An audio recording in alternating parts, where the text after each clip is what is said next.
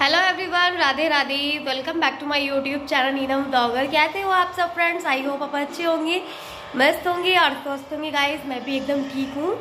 तो आज है दे देवउठनी और हमारे यहाँ तो देवउठनी बोलते हैं और मुझे बिल्कुल अच्छे से नहीं पता कि उसको क्या बोलते हैं। आज वो त्यौहार है। और गाइज़ मैंने ना हेयर कट करवा लिया है। सी कैसी लग रही हूँ मैं, बताना मुझे। कमेंट में कि हेयर कट मुझ पर सूट कर रहा है या नहीं कर रहा। वेल well, मुझे काफ़ी ज़्यादा अच्छा लग रहा है हेयर कट के बाद। एंड uh, शाम के चार बज रहे हैं। मैं अब अपना ब्लॉग शुरू कर रही हूँ क्योंकि सुबह से मन मन भी नहीं कर रहा था और बाहर मतलब यहीं पास में किसी के लिंटर पड़ा है। तो वो जो मशीन थी ना वो घर के बिल्कुल हमारे गेट के बिल्कुल सामने लगी हुई थी। तो इसलिए शोर बहुत ज़्यादा हो रहा था इसलिए मैंने कुछ भी शूट नहीं करा। तो वो सब काम वाम ख़त्म हो गया तो मैंने सोचा चलो अपना ब्लॉग शूट कर। लूँ और बताइए, और पीहू अपनी अम्मा के साथ गई है। यहाँ पे खाटू, कोई खाटू श्याम जी लेकर आए हैं तो केक वगैरह कटिंग कर रहे थे तो वो बुला के लेके चले गए। और अब मैं कर रही हूँ शाम की मतलब झाड़ू निकाल रही थी। क्योंकि आज के दिन खाने में या तो उड़द चावल बनते हैं या फिर काली दाल की खिचड़ी और ऐसे तो काली दाल की खिचड़ी बनेगी। और मम्मी मेथी भी लेकर आई है, इसके नीचे रखी हुई है मेथी।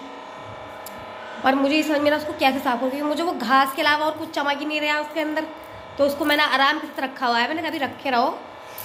अभी यू नो जब आ जाएँगी, मैं कोशिश करूँगी उसे साफ़ करने की। क्योंकि एक तो साग और एक मेथी साफ़ करना मुझे बहुत बोरिंग लगता है। मतलब मुझे ऐसा लगता है कि मैं अगर सुबह से लेकर बैठूँगी ना तो शाम तक साफ़ ही ना हो पाए इस चक्कर में। और गाइस आप वीडियो को देख के चले जाते हो, लेकिन आप ना वीडियो को लाइक नहीं करके जाते हो तो प्लीज़ अगर वीडियो पसंद आया करे तो वीडियो को लाइक कर दिया करो और अपने फ्रेंड्स और रिलेटिव के साथ वीडियो को शेयर कर दिया करो। और बस, और क्या कहना है? और बताइए, मेरा हेयर कट कैसा लग रहा है? मुझे काफ़ी ज़्यादा खुशी हो रही है। जब से मेरा हेयर कट हुआ है। मैंने शादी से पहले कभी कटिंग नहीं कराई कराई थी। और शादी के बाद ही मेरा तीसरा या चौथा हेयर कट करवाया मैंने। और काफ़ी ज़्यादा मुझे मज़ा आ रहा है कि आज मैंने हेयर वॉश किए थे। तो एक दो वीडियो वगैरह शूट करी है और डाल दी है वो मैंने। कमेंट करके बता देना कि मेरे ऊपर मेरा हेयर कट कैसा लग रहा है।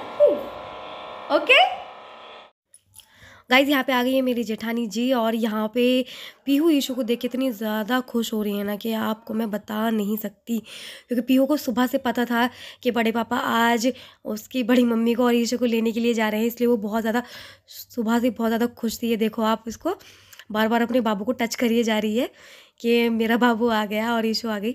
तो बस वो यही बोलेगी कि आप चलो खेलने के लिए, बस यही था कि अब हम कब लोग बाहर निकल के खेलने के लिए चलें। और सुबह से बस उसका भी मन था जाने का बड़े पापा के साथ कि मैं अपनी बहन को लेने के लिए जाऊँगी उसकी नानी के घर से, लेकिन बाइक पे पॉसिबल नहीं है क्योंकि रास्ते में बच्चे सो जाते हैं। इस वजह से भाई साहब लेकर नहीं गए हैं। तो दीदी लग गई थी मेथी साफ़ करने में और मम्मी चली गई थी दूध निकालने के लिए। तो वो बोल के गई हैं कि काली दाल की खिचड़ी बना के रखो, मैं आ रही हूँ। क्योंकि काफ़ी शाम हो गई थी, साढ़े छः बज गए थे तब तक इस वजह से। तो यहाँ पर मैंने पानी बॉईल होने के लिए कुकर में रख दिया था और यहाँ पे मैं चावल और काली दाल धो रही हूँ। और वैसे तो मुझे ये खिचड़ी ना, छौंक के ज़्यादा अच्छी लगती है। और जैसे हरी मिर्ची और जीरे से छौक छौक के बनाओ तो काफ़ी ज़्यादा टेस्टी लगती है। लेकिन जब शादी बनाओ तो बहुत ही कम मतलब मुझे पसंद आती है। लेकिन इस त्यौहार पे बहुत सिंपल तरीके से बनती है तो उसी तरीके से बनाएँगे हम।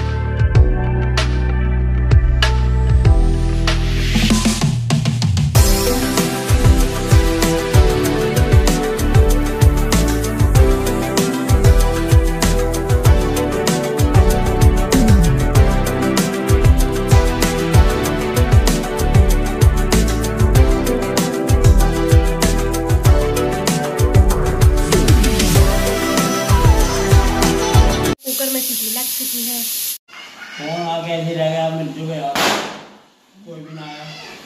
आपकी ना कोई फ़ोन आपके नहीं ऐसी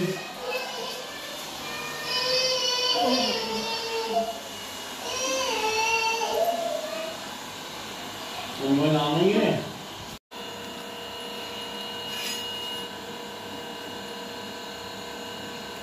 तुम होंगे बाल को कहाँ दोनों अलग ये तो आपके साथ भी उससे लड़ रहा है मैं तो प्यार मुड़ा हूँ ऊपर प्यार मुड़ा मोड़ा बैठा ना मुड़ा मैं आया अच्छा पहली बार काम करा रहा दीजिए मैं मैं बैठा हूँ ना।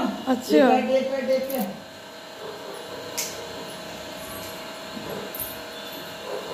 खबर में तो बहन करता छोड़ा बाद में।